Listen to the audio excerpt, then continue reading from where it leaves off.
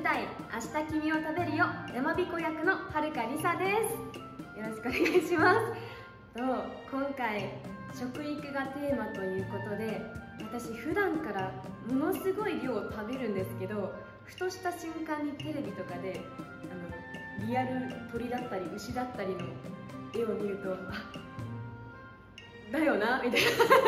な。あてんてんてんみたいなのを思ったりはするんですけど実際には深く考えたことがないテーマというかちょっと目をそらしているところもあるので今回小学生役っていうことなんですけど自分もなんかなんだろう原点に戻ってというか ちゃんと食のありがたみみたいなものを考えながらお芝居していきたいなと思っています。はい。頑張ります